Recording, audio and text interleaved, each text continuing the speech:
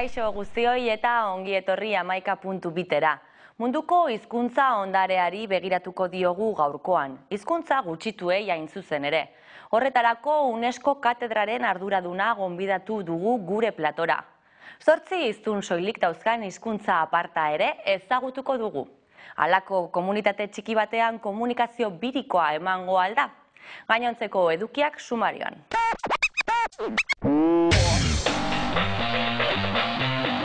Zuzeneko emisioak eta partida amaitezinak. Albisteak eta virusak. Hizkuntza aniztasuna hobe ezagutzeko. Itzen uberan literatura bilduz. Busu ikasi nahi?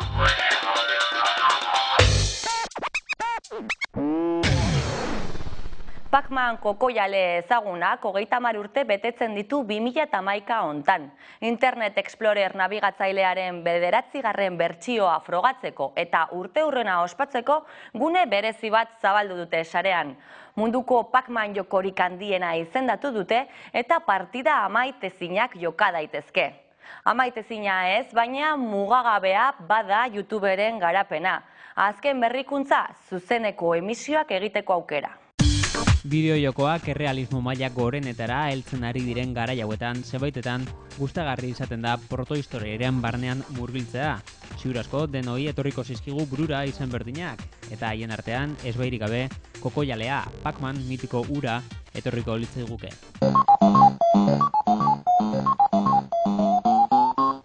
zenbat ordu laberinto hortako pareten artean, eta zenbat larun bateko paga errekreatiboko makinetan inbertiturik.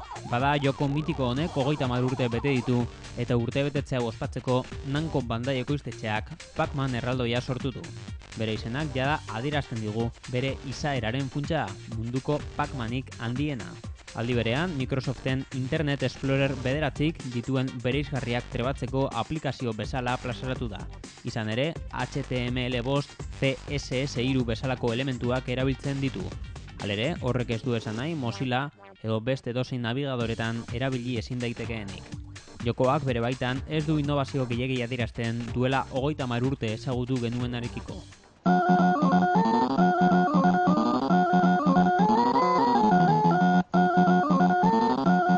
bolatxoak irenstean datza, beti ere mamu beldurgarrien gandik iesean. Zen den jokoaren berrikuntza, bada mapamundi erraldoi batetan sartzeko aukera izango dugula. Bertan, laberinto eskaintza izugarria dago, eta elkarren artean konektaturik daude. Horla, norbaitek abilesia muturrekoa izan ezkero, infinitura edadezake bere talentua, esen atoki eskaintza oso handia baita. Bestalde, sare sozialen ateak ere aprobetsatu egiten dituzte, eta jokoaren aukera lehiakorrak esplotatu bertan kokoialearen errege bilatzeko aukera ere eskainiko zaigu. Bada, nostalgia maite dutenek bere tokia aurkituko dute worldbigespacman.com webgunean.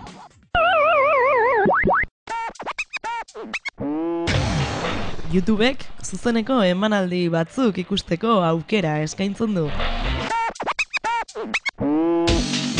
Mundu mailako ekitaldi, kontzertu edo kirol emanaldiak zuzenean ikus daitezke direla aste batzuk YouTube web orrialde ezagunari esker. Orain arte bideo bilatzaileak eskaini dituen zerbitzuak mantendu egingo dira, baina streamingari esker zuzeneko grabazioak ikustea bermatuko da. Egunero bi bilioi pertsona zartzen dira YouTubeen bideoren bat ikusteko eta erabiltzaile horiei aukera berriak eskaini nahi dizkiete. YouTubeen izena ematen dutenek zuzeneko emanaldien berri jasoko dute aldez aurretik. Horretarako bazkidea egitea nahiko izango da. Momentuz, Indiako kriket partidak edo Pariseko moda astea izan dira streaming bidez zuzenean emititutako ekitaldiak. Ondorengo egunetako saio izarra datorren ostiralean Londresen ospatuko den eskontza izango da adibidez. Gainera, YouTubek zuzenekoa ikusi bitartean, komentarioak egiteko aukera eskaintzen du.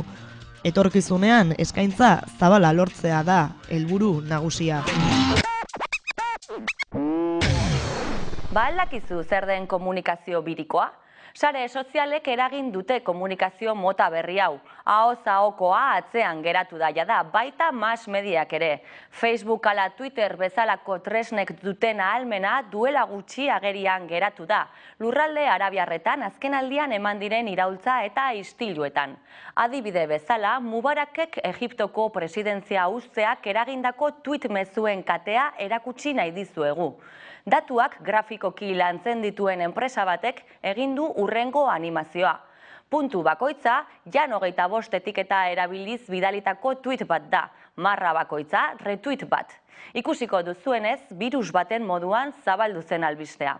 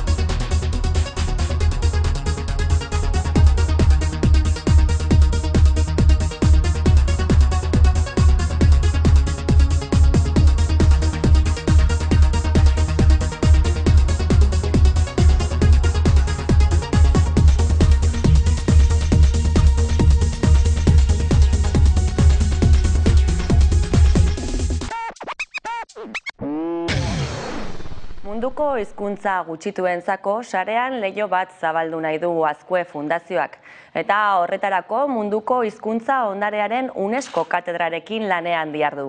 Rolan Isoirt eta Itxiari Diazabal gonbidatu ditugu gurera, arratsaldeon ongi etorri. Arratsaldeon. Ba, zertan datza kolaborazionek hizkuntza gutxituen berri emateko fitxategi bat eh, sortuko duzue, baina zer da praktikan fitxategi hori eta non aurkitu dezakegu? Bueno, Euskal Herri mailan eta munduan ba, hainbat eh, hizkuntza gutxitu edo eh, daude, orduan hizkuntza gutxitu horien inguruko webgune bat eh, sortu dugu eta webgune horren helbidea izango litzateke hizkuntza gutxituak.net. Eta zenbat hizkuntza gutxitu aurki ditzakegu fitxategian? Bueno, guk eh, Azkue Fundazioarekin akordio bat egin dugu, nolabait eh, urtean amabi bat hizkuntza egiteko, hizkuntzen fitxa egiteko esan nahi dut, eta uste dugu, ba, ekimenak aurrera egingo dula, eta martxa hortan, ba, poliki-poliki fitxategi hori zabaltzen joango da. Orain goz, ba, irurogei bat hizkuntza edo aurrikusita dauzkagu, horrek ez du esan nahi zehaz mehatz derrigorrez horiek izango direnik, ze gero aldaketa batzuk egoten dira, ba, ikusten da beste hizkuntza bat sartzea komeniago dela edo dena dela. Hizkuntza gutxituak asko daude, zoritxarrez gutxitua dira asko gehienak. Orduan zer egina zaigu falta, baina Eta itziar zeintzuk dira hizkuntza gutxitu horiek aukeratzeko irizpideak? ba, gehien bat erabili dugun irizpidea izan da ba, Euskal Herrian oihartzuna duten hizkuntza gutxituak. Alegia Euskal Herrira etorri diren etorkinek ekarri dituztenak eta nolabait hemen hizkuntza horien hiztunak aurkitu ditzakegula kontutan izatea. Eh? Pixka bat, e, bueno, e, hemen ere hizkuntzan iztasuna bertako hizkuntzaz gain, haunditu da azken urteetan, e, egun bat edo aurkitu genituen dela urte batzuk egindako ikerketa batean, eta pixka bat hizkuntza horien leku ematen alegindu gera. Ez bakarrik irizpide hori, badira beste batzuk ere, ba, Europako eta behar bada interesgarrien iruditu zaizkigunak, esate baterako, ba, lehenengo egin dugun Europa arrizkuntza gutxitua izan da aranera, oso gertu daukagu, oso gutxi ezagutzen dugu, eta beste alde batetik e, gure naiz Frantziako egoeran, ze Oksitaniera da, oso ez ezaguna eta oso interesgarria den egoera bat e, islatzen duelako, ezta. Webgunean dagoeneko, zamabi hizkuntza topatu ditzakegu, ze informazio eskaintzen da webean e, hizkuntza hauei buruz? Bai, bueno, e, horre nolabait hizkuntza guztiak antolatu dire e, Petersen mapa mundia erabiliz, hizkuntza guztiak mapa mundi horretan kokatuta daude, eta gero hizkuntza guztiak ere nolabait zerrendatuta ditu orduan hizkuntza baten gainean sakatuz gero, mapan puntutxo bat argistatu egiten da eta eh, agertzen zaigu ba non dagoen berez kokatuta hizkuntza gutxitu gutxitu hori, ezta. E, Petersen mapa izango litzateke proiektzio kartografiko bat, ez da mapa mundi e, ezagutzen dugu mapa mundia, eh? pixkat desberdina da eta hori erabili izan dugu UNESCO katedraren nolabait e, ba, bueno, ezaginduz, baina bueno, gomendioz, ezta. E, fitxa hauek, hauetako informazioa euskaraz dago, gazteleraz baita, eta Wikipediara igotzeko asmoa ere badaukazue, ez? Bai, zera. Bai, hizkuntzak daude, berez, hiru hizkuntzat egin ditugu. Euskeraz, eh, gaztelaniaz eta inglesez ere bai. Eh? Eta hizkuntza bakoitzak ematen du informazio jakin bat, eh? eskema bat jarraitu dugu, hizkuntzaren izena, iztune eurek nola deitzen dioten hizkuntzari, ze azkenean ba, guri ba, basko esaten diote, baina euskera deitzen diogu, ezta? Orduan horri hizkuntza guztietan gertatzen da horrela. Itz, izen asko izaten dituzte orduan aukeraketa bat egin dugu, non hitz egiten den, e, zenbat iztun diruen, diren, zailkapen bat, ze familia, ze hizkuntza familiakotakoa den, Hizkuntzaren egoera soziolinguistikoa ba, oso lurralde txiki batean edo zabalduagoa dagoen, ahozko azgain idatzizko horik badaukan, eta baita ere, baiz pixka bat ematen ditu referentziak, gehiago jakin nahi duenak ba, bilatu dezan, eta gero ematen dugu mapa bat baita ere, zehatzagoa. Hasieran e, Rolanek esan duen bezala, ba, mapa mundian e, aurkitzuko dugu non dagoen hizkuntza hori, baina gero bertaratu egiten gera, pixka bat e, lurraldea gertuagotik ezagutzeko. Hori da, pixka bat hizkuntza bakoitzaren eskema edo Eh, erabili duguna. Eta gero guzti hori Wikipediara igotzeko asmoa daukazu ezen izango da prozesua. Ja, bueno, itxiarrek esan da benez, urte urte ari gara guztia lantzen, lehenengo urte, bueno, urte honetan, pasadan urtean, 2000 eta marrean, ama bizkuntza horiek e, sartu genituen webunean, 2000 eta maikagaren urte honetan ere beste ama sartuko ditugu, Orduan, e, webgunea berez, Creative Commons lizentziapean e, dago, e, aitortu berdin partekatu lizentziapean, eta beraz, e, Wikipediara igotzeko aukera daukagu bertan dagoen eduki guztia. Orduan, oinarte sartu ditugun fitxa horiek, pixkanaka pixkanaka Wikipediara ere igotzen hasiko gara, eta hori, hori bai, e, zera Wikipediako arauak nola baitere bermatuz. Fitxa hauek edo hizkuntza gutxitu hauei buruzko informazioa topatzeko, zen izango litzateke jarraitu beharreko bidea webgunearen bitartez. Hizkuntza gutxituak e, sartu hor, eta hor barruan agertzen da manpa orokorra, eta landuak edo informazioa sartua dagoen eh, hizkuntzak agertzen dira zerrenda batean, orduan hor sakatu eta hortikan ateratzen duzu.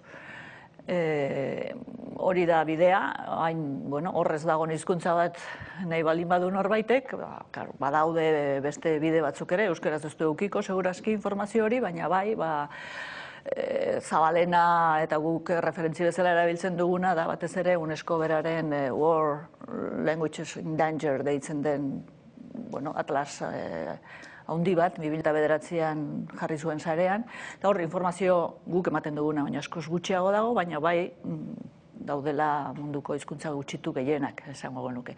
Eta bada beste helbide bat ere oso emankorra dena, noski bere irizpideekin egina, eta gu beti ez gatoz bat, hori da etnolog, etnolog da pues, estatu batueteko erakunde oso indartsu bat, eta horrek e, baita informazio asko, hizkuntza askori buruz, ia gehienei buruz ematen du. Eh? beti ez gatoz bat. Eh? Euskarari buruz esaten duenarekin ez gatoz gu bat.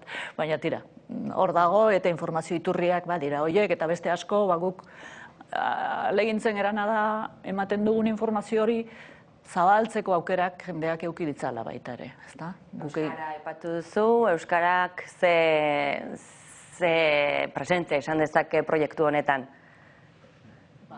Batetik eh, lanerako hizkuntza eta informaziorako hizkuntza hori dela. Euskeratik egindako lan bada, eh, eta guk printzipioz euskaraz egiten ditugu, eta gero itzuli geuk egiten ditugu, bai gaztelaniara eta bai inglesera. Orduan, bueno, normala den gauza bat bezala erakutsi nahi dugu euskeraz egina, eh? eta orduan ba, bere nabardurak ematen ditu horrek, ba, jakina den bezala. Eh? Normalkuntzarako prozesuan beste pausu bat, ez? Ba, guk uste dugu asko fundazio moduan be garrantzitsua dela sarean euskarazko edukiak egon daitezan ba, horrelako ekimenak ere bultzatzea, ezta. Azkenean intziarrak esan dabe moduan, ba, bueno, euskaraz landutako gaiak dire eta agian beste hizkuntza batzutan jorratu ez diren gaiak dire. Beraz, bueno, badeukie eh, garrantzia eta eta gainera komentatu dugun moduan e, Wikipediara eduki hori goaz ere, ba bueno, nolabait be e, lagundu egiten dugu be normalkuntza horretan, ezta. Azkenean nik uste dut jenteak behar da bela euskarazko edukiak e, bilatzea sarean, aurkitzea, kontsultatzea eta hori da garrantzitsune. Ba, eskerrik asko na etortzeagatik, e, zorte proiektuarekin eta urrengora arte. Eskerrik asko, amaika telebistari, eta espero dut eh, hizkuntza gutxituen informaziori gehituz joatea, ze ez da oso orain oso ezaguna, ezagutza hori. Eh? Eta nik uste dut zuen beharra daukagula, ze guk atzeatik lan egiten dugu zuek agerian jartzen duzue. Eskerrik asko. Pasarean Euskal Proiektu asko Euskaraz badabiltza ere, ezagutu dezagun urrengoa. Hizkuntza ondarea bizirik mantentzeko prosa, poesia, idatzizko komunikazioa, azken finean literatura ezinbestekoa da. Euskal literatur zaleek badaukate nora jo azken edukieta mugimenduen berri jakiteko. Liburuetan, erakusketetan, itzaldietan, tabernetako errezitaldietan, edo non ere literatura badagoela diote urrengo proiektuaren sortzaileek. Eduki guzti horiek bildu eta denon eskura jartzen dituzte internet bidez.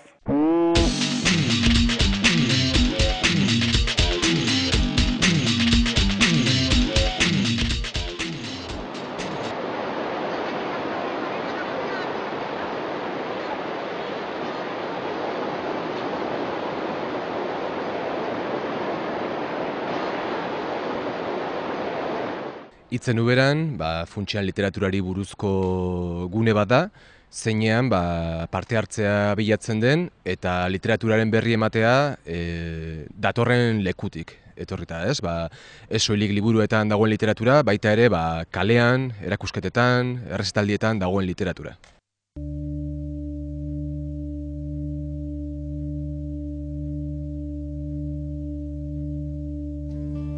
Nada gozo dena dago Batez ere, itzen uberan sortu genuen batez ere ikusita ba, literatura zaletasunaren arloan ba, asko egon zitekela egiteko. Egun interneten dagoen bizitza, ba, agian etzela inbeste islatzen oraindik ere ba, literatur zaletasunaren kontzeptu horretan. Eta, bueno, guretzat egia esan, e, erreferente oso garrantzitsuak daude sarean literaturari dagokionez, e, guztiz e, aintzat hartzen ditugunak e, gure bidean, egunerokotasunean, baina bai ikusten genuen ba, literatur zaretasunaren ikuspegi horretatik ba, ba, egon zitekela nolabaiteko utxune bat, eta horri begira jarri ginen lanean, eta sentzu horretan ba, parte hartzea gakoa izan da bete hauetan.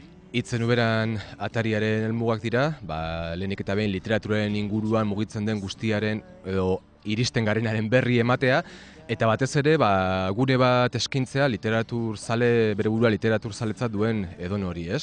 Ba, ez oilik e, albisteak jasotzeko, baita ere, ba, beren sormen lanak erakutsia izateko, e, beste literatur zalekin kontaktuan egoteko, iritzu itrukea egoteko, eztabaida plazaratzeko, hala sortatuz gero, eta batez ere nik esango nuke ba, literatura maite dugun guztiontzako ba, ba, bueno, gune bat dela, zeinean ba, literatur zaretasunarekiko maitasun horren aurpegi guztiak eta eta bide guztiak ba, plazaratu daitezkeen.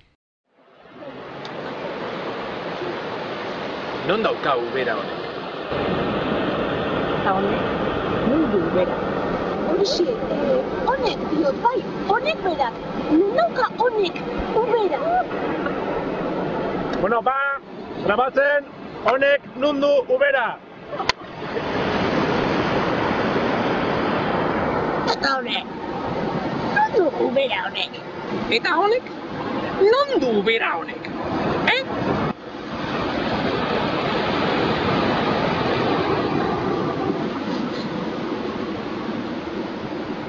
Eta honek, Kuriosoa nola batzuetan hitz bat aukeratzen duzun e, zer edo zer izendatzeko, eta, bueno, ba, jende askok esan digu etzekiela ez zuela ezagutzen hitza, eta eta jende askok galdetu digu e, uberaren esanaiaz, eta egia esan, ba, bueno, oso interesgarria da ikustea nola e, jende asko ohitu egin den hitz horrekin, eta, eta barneratu duen, ezta? Eta, bueno, gu geuk ere, ba, barneratu dugu, e, uberan hitza eta eta bai topatu diogu esanaia e, batez ere hiztegietatik harago noski. Ba, guk eman diogun zentzuarekin, ezta?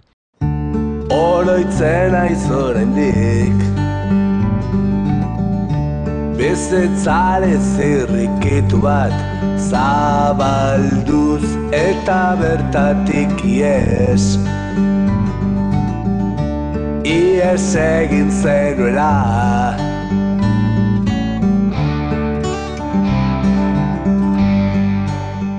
Azalaren atalak arrakasta handia izan du hasieratik, batez ere e, jende askok transmititu digulako normalean ilustratzaile, argazkilari, irudigile eta idazleen artean ez dela egoten normalean liburuei begira harreman askorik, normalean faltan botatzen duten zer zer da, eta honen bidez ba, bai ikusten dugu ba, zubiak eraiki direla pixkanaka, bai idazle, bai irudigileen artean, eta jendeak izugarri estimatu duen gauza bat da, ezta? Bestetik, e, hartzailek ere esan digute, ba, normalean beraien e, atalik gustokoen eta gustokoenen artean dagoela azalarena, ba, e, egunero harritzen zaituelako, ezta? Eta zentzu hortan ba, ba oso positiboa izan da. Aingura egodunak dira, e, jendearen sormen lanak, funtsean, jendeak bidatzen dituen kolaborazioak, e, argazkiak, testuak, atal horren bidez, bai, saietzen garena da, ba, bueno, e, ate bat zabaltzen e, jendearen sormenari, eta horren baitan bada azpiata oso berezi bat, e, poema musikatuak deitzen dena, hasiatik ere ba, arrakasta handi izan duena, Imanol Ubeda, Jon Miner, bezalako kolaboratzailei esker, e, atal horretan poema musikatuetan, e, hainbat e, musikari, abeslarik, e, hilean behin, poema bat hartu eta musikatu egiten dute, eta haiek danak e, entzuteko aukera dago, eta egia esan, orain arte ba, oso eskaintza anitza izan da poemen aldetik. Navigazio kartan saiatu garena da nolabait e, ikusgarri egiten e, Euskal Herri mailan literaturarekin loturik e, mugitzen diren e, lekuak, gauzak, irakurle klubak, e, ekimenak, nolabait ikusteko ba, nun e, kokatzen diren era bateko edo besteko e, ekimenak, eta esan genezake, ba, oraingoz e, asteko eta behin gauza asko topatu genituela navigazio karta horretan kokatzeko, eta bidean, oraindik ere gehiago topatu ditugula, eta ikusten dugula, ba, zorionez, e, navigazio karta pentsatu dago moduan txiki geratzen dela, eta, eta bueno, ba, jarraituko dugu karta hori osatzen. Kofradia, ba, itzen uberanen helburu nagusiekin bat eginez, e, literaturzaleentzako txokoa da, edo nork eman dezake izena, e, bada leku bat e, elkara harremanerako, baina batez ere e, bada bide bat e, itzen uberanen modu zuzen batean parte hartzeko, edukiak igotzeko, sormelanak igotzeko. Kalertzen garen pasaloreak Aziantzuak gu euripean Aziantzuak gu euripean Eta galdeiten jarraitzen dugu Zenbat bide Nire ustez, itzen uberanek bere gain hartu dituen helburuak ikusita, esan daiteke nolabaiteko utxune bat zegola, eta ez bat zegoen oso sakabanatua zegoen literaturai loturiko, literatura, literatur zaletasunen ikuspegitik literaturai loturiko informazio jario guztia, ez? Eta horri batean bai saiatu gara, ba, gune bakar batean e, biltzen horiek denak eta, eta jendeari eskaintzen. Bai, noski, e, bateragarria dira eta egun gainera bizi dugun garaiotan bateragarriak izan behar dira. E, e, sareak sekulako baliabideak ematen ditu e, literatura murgiltzeko eta literatura mundua aberasteko, e, armi arma eren eredua nabarmena da maila horretan eta eta bai, ba nire ustez e, oraindik bide handia dago egiteko, baina guztiz bateragarria dira. Aziantzuak gu euripean Aziantzuak gu euripean Internetek literaturari eskaintzen dio batetik, eta hasteko eta behin, e, komunikabide batek bete ditzakete, ditzakeen e, funtzioak, alegia e, e, mugitzen denaren berri ematea, Baina batez ere aipatuko nuke e, internetek ematen diola e, muga ekonomikoek ematen ez dioten gauza bat dela e, sekulako fondoa, egoteko aukera. Bai artxiboaren ikuspegitik, e, bai sakontzeko, literaturan sakontzeko, lan egiteko e, behar diren tresnen ikuspegitik. E, internetek eman dizazkioke literaturan murgildu nahi duenari ba, sekulako tresnak edukiei dagokionez dinamikotasuna interneten e, oso interesgarria dela, oraindik esploratzeko kontu bat dela, alegia sormen edukiak plazaratzeko moduan ere e, eragin handia izan dezake eta bide berriak zabalditzake. Literaturaren inguruan sekulako mugimendua dagoela, gu horren berri bagenuen lehenago ere, e, itzen uberan abiatu baino lehen, baina e, orain informazioa Euskarri ezberdinetan biltzen eta bideratzen hasi garen einean, konturatu gara e, uste duena baino askoz handiagoa dela e, mugimendu hori eta e, literaturaren inguruan e, sortzen den mugimendu horrek sortzen duen, ekartzen duen materiala. Funtseskoak dira, e, konturatu gara ba, bai edukienetan parte hartzeari begira, bai e, edukiak e, zabaltzeko orduan, ba, funtseskoak sortatu zaizkigu guri hasiera hasieratik eta hitzen uberen inguruan e, sortzen junden sarea harremanen sarea ere hortikan, eta horri esker e, bideratu da, eta e, jendeari parte hartzeko, jendearen parte hartzea bideratu izateko tresnak egun e, iaia edonork erabili ditzakenak ba, ba, bueno, ba, komunean sortze dituzte espazio asko e, atariari begira, eta kontura, bai konturatzen gara, e, ataria bera gainditzen dutela e, ezagarri guzti horiek, ezta?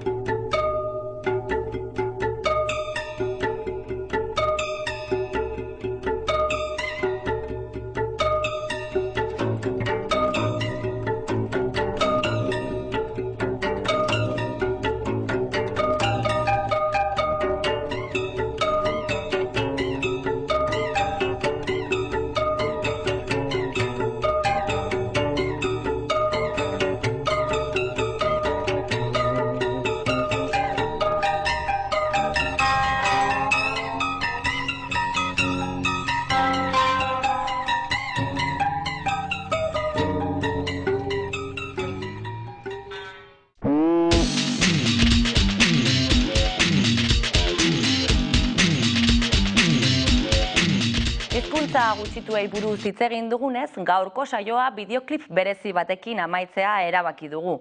Hizkuntzak online ikasteko sare sozial batek eginiko publizitate kanpaina baten parte da.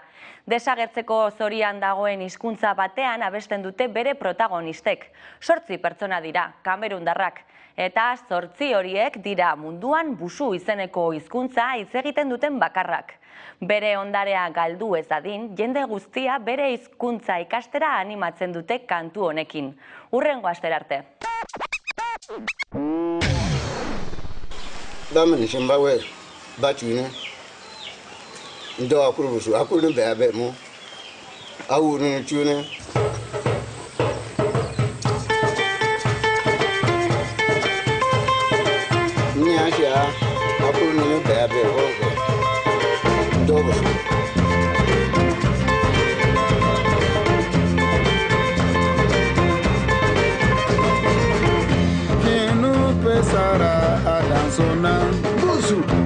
mosaka ya nono banosona.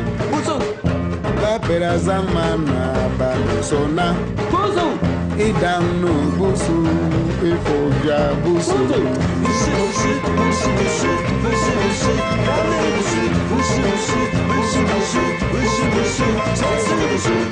Busu kari fovya badiribe omashan pokama befovya bu. Busu masa samba kadamomba busu omashongu uwa otayaku. Busu busu busu busu busu busu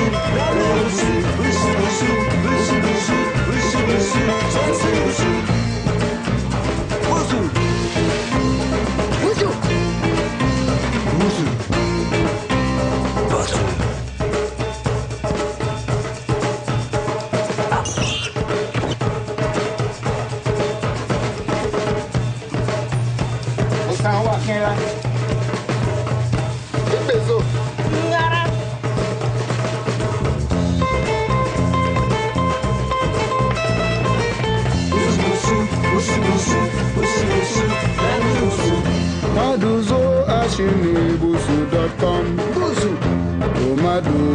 bizwa shinimba.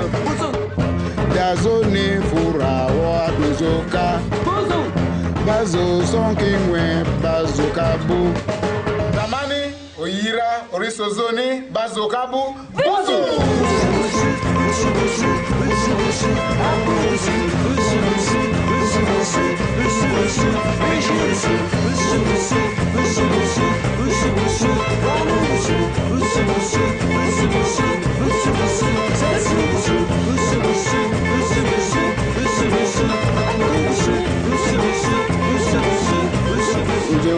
kasara mungu jembusu jonka dɔbɔ nyi apuro su lɔri bɛɛ bɛɛ rɛ su jonka dɔbɔ bezoek.